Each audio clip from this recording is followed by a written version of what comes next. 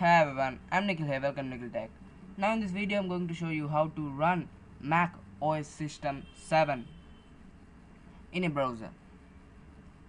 First, we want to type this URL. I'll keep this URL in the description.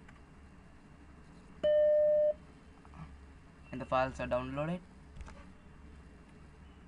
And now the OS is running.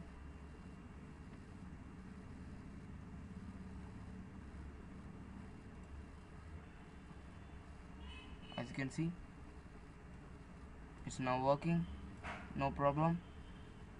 And we have the apps like uh, some Mac Painting 2.0 and other stuff. And we have the games. We have these three games. We can try this. Let's play this game